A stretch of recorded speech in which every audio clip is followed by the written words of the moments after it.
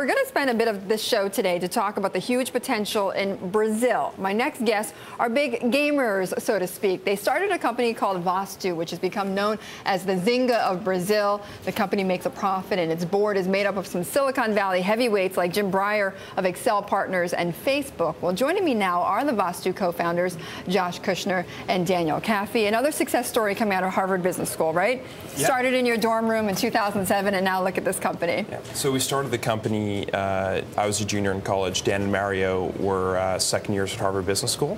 Uh, in the last four years, we've grown into one of the largest internet companies in Latin America. And you make you make a profit. Yeah, we're, we're highly profitable. Uh, social gaming, the model in itself is a very profitable model. We sell virtual currency. Um, Right. Mm -hmm. Well, okay. So now that you're what three and a half years or so, you know, out in this company, what is the next step then?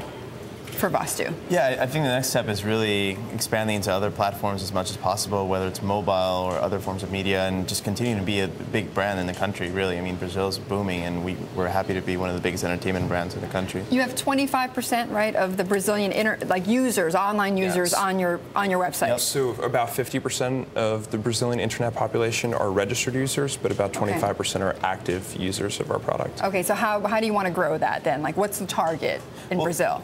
Well, you know, the Brazilian online population is growing so fast. It's already the fifth largest internet population in the world, and the idea there is we're growing also with the market.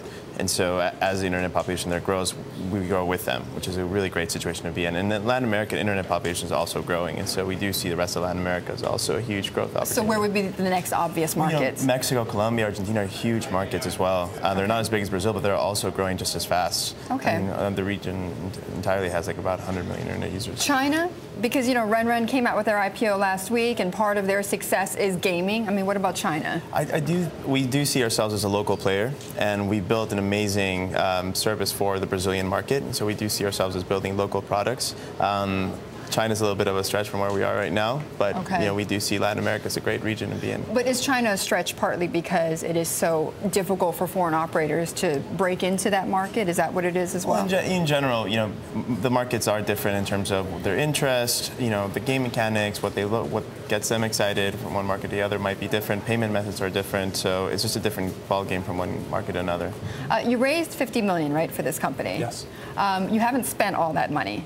So where would you spend that money, the rest of it? How much have you spent and where would you spend the rest? so we don't disclose those numbers. I mean, we're highly profitable, so we've raised capital for growth purposes. Um, we've mostly spent it to date on marketing our products and uh, just growing our, uh, our user base. We just want to be bigger and better, and we're starting to think about ways in which we could be a bigger player. Are you going to spend part of that money in security? Because as you know, you know, with Sony made all these headlines in the last several weeks about their online gaming operations and how they've been hacked.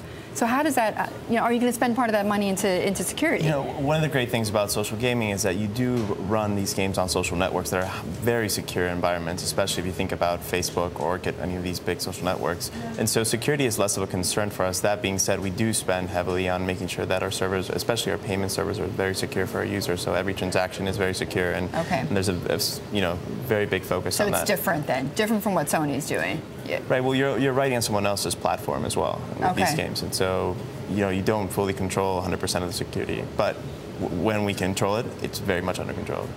We want to, you know, we consider ourselves an entertainment experience, and we just want to provide the best experience for our users, and security is a big part of that. Um, last question, IPO, any plans on that at any point? I mean, I know you still got cash to spend, but would you consider that at some point?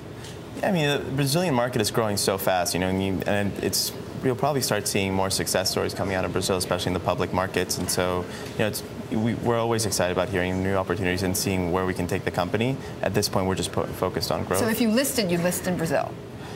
You know, depends, you know, on the situation back then. But you know, Nasdaq. You also have a lot of Latin American companies listed in the Nasdaq as well. Right. Did you want to add to that? No, I mean, we're, okay. we're always evaluating opportunities. Uh, we feel very fortunate that it's been an exciting ride uh, so far, and uh, we're just looking to become bigger and better, and the ways in which we do that, we'll figure out over time. Got it. Thank yeah. you very much, yeah. Josh, Dan.